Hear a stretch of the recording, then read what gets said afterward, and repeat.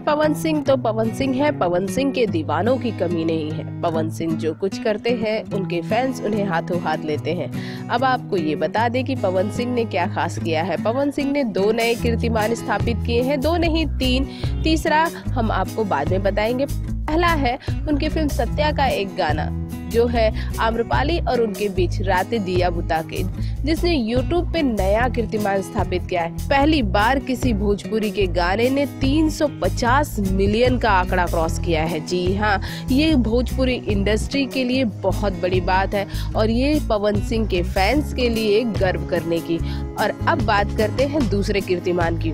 तो दूसरा कीर्तिमान भाई पवन सिंह ने फिर से रच दिया है। इस बार कीर्तिमान उन्होंने काजल रागवानी के साथ रचा है और उनकी फ़िल्म का नाम है मैंने उनको सजन चुन लिया। इसके ट्रेलर को लोगों ने काफ़ी पसंद किया और अब इसके एक गाने को आरा का उठलाली, जो आजकल यूट्यूब पे खूब धूम मचा रहा है।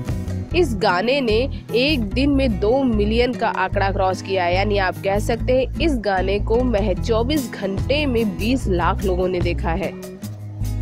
साथ ही तीसरा कीर्तिमान पवन सिंह के लिए ये है कि मैंने उनको सजन चुन लिया का ट्रेलर भी दर्शकों ने खूब पसंद किया है। उनके फैंस ने इसे सिर्फ़ 24 घंटे में एक मिलियन से भी ऊपर का आंकड़ा दिया यानी कि 24 घंटे में इसे तकरीबन 10 लाख से भी ऊपर लोगों ने देखा है। ये पवन सिंह के फैंस की दीवानगी ही है कि पवन सिंह का या फिर कोई ट्रेलर आए, या फिर कोई स्टेज शो हो, या फिर कोई फ़िल्म आए, उसे हाथों हाथ लिया जाता है। इसलिए तो भोजपुरी की सारी हीरोइनें पवन सिंह के साथ काम करने के लिए बेताब रहती है।